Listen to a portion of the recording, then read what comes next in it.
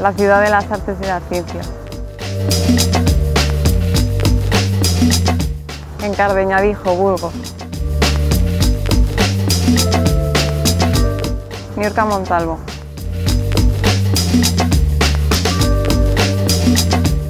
Pues yo iba paseando por el cauce del río con mis padres y pasamos por la pista de atletismo y habían un montón de niños de la escuela del Valencia y yo le dije a mis padres, ay, yo quiero apuntarme ahí, como están todos esos niños jugando.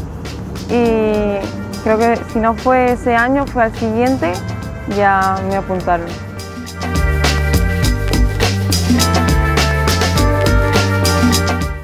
Eh, la longitud ha sido siempre mi, mi prueba. En el triple disfruto mucho, pero el triple hago triple más cuando estoy muy agobiada con la longitud y, hago triple, pero me gustan las dos, no, no podría elegir entre una o la otra.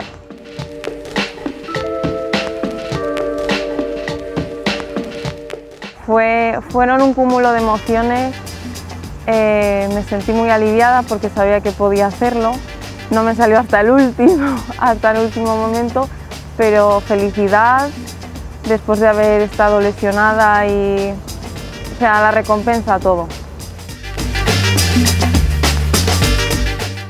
Pues yo creo que mi sueño ya lo voy a cumplir, que siempre ha sido ser olímpica.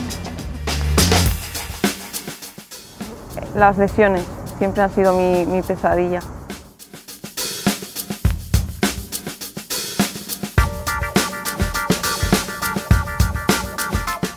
No, no tengo comida preferida, la verdad. O sea, suelo comer bien, no de todo porque soy muy exquisita con, con la comida, pero me gusta casi todo.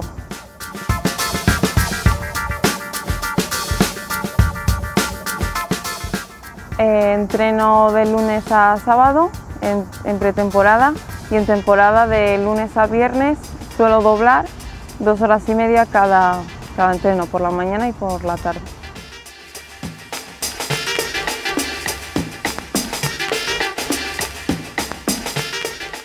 Pues ahora recupero mucho mejor, eh, me noto más, más ligera porque me ayuda mucho a drenar, que era uno de mis problemas antes, que retenía mucho y, y ahora pues lo, he notado muchísimo eh, en el cambio. Sí.